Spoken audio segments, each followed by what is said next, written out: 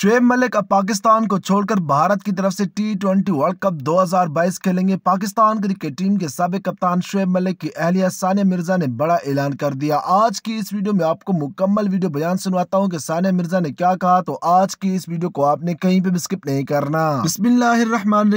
वालेकुम एक और नए वीडियो के साथ आपकी खिदमत में हाजिर हूँ। आप देख रहे हैं हमजा स्पोर्ट। जैसा की आपको मालूम है की पाकिस्तान क्रिकेट टीम के चीफ सेलेक्टर मोहम्मद वसीम ने पाकिस्तान क्रिकेट टीम के टी ट्वेंटी वर्ल्ड कप 2022 के स्क्वाड का ऐलान कर दिया है। सिर्फ़ टी ट्वेंटी वर्ल्ड कप 2022 नहीं, बल्कि इंग्लैंड के खिलाफ होने वाले सात टी ट्वेंटी मैचेस जो कि कल से शुरू हो रहे हैं, उसमें भी पाकिस्तान क्रिकेट टीम के सबक कप्तान शुएब मलिक को अच्छी कारकर्दगी दिखाने के बावजूद भी पाकिस्तान क्रिकेट टीम के स्क्वाड में शामिल नहीं किया गया। अब पाकिस्तान क्रिकेट टीम के सबक कप्तान शुएब मलिक की एहलिया ने बड़ा बयान दे दिया है। शुएब मलिक की एहलिया जो की भारतीय टेनिस स्टार है, उन्होंने पाकिस्तान क्रिकेट टीम के सबक कप्तान शुएब मलिक के हवाले से क्या कहा, जो की उनके शोर भी है, आपको मुकम्मल डिटेल देता हूँ, लेकिन उससे पहले अगर आप पाकिस्तान क्रिकेट टीम में शुएब मलिक को मिडल ऑर्डर में खेलता हुआ देखना चाहते हैं तो आपने इस वीडियो को लाइक करना है, चैनल को सब्सक्राइब करने के साथ साथ बेल के आइकन पर क्लिक कर देना है। इसके साथ साथ आपने कमेंट बार में लिखना है, यस, अगर आप पाकिस्तान क्रिकेट टीम के सबक कप्तान शुएब मलिक को खेलता हुआ देखना चाहते हैं, अगर आप नहीं देखना चाहते तो आपने कमेंट बार में लिखना है, नो लेकिन आप सबने कमेंट ज़रूर करना ताकि हमें पता चल जाए कि कितने फ़ीसद लोग हैं जो कि पाकिस्तान क्रिकेट टीम के सबक कप्तान शुएब मलिक को पाकिस्तान क्रिकेट टीम में खेलता हुआ देखना चाहते हैं। पाकिस्तान क्रिकेट टीम के सबक कप्तान शुएब मलिक की अहलिया सानिया मिर्ज़ा, जो कि भारतीय टेनिस स्टार है, कल उन्होंने एक इंटरव्यू दिया। तो साफी ने उनसे पूछा कि आप टेनिस से रिटायरमेंट ले चुके हैं तो आपके शोर ने अभी तक पाकिस्तान क्रिकेट टीम से रिटायरमेंट नहीं लिया, लेकिन बीच में खबरें आ रही थी कि वो रिटायरमेंट ले रहे हैं। तो सानिया मिर्ज़ा ने एक हैरान कन इंकशाफ किया। उन्होंने कहा कि हम दोनों ने मुशावरत की थी और कहा था कि एक दिन अपनी अपनी टीम से रिटायरमेंट लेंगे, लेकिन मैंने रिटायरमेंट ले ली और पाकिस्तान क्रिकेट टीम के सबक कप्तान शुएब मलिक ने रिटायरमेंट नहीं ली। भारतीय टेनिस स्टार सानिया मिर्ज़ा का कहना था कि मेरे शोर Shoaib Malik T twenty World Cup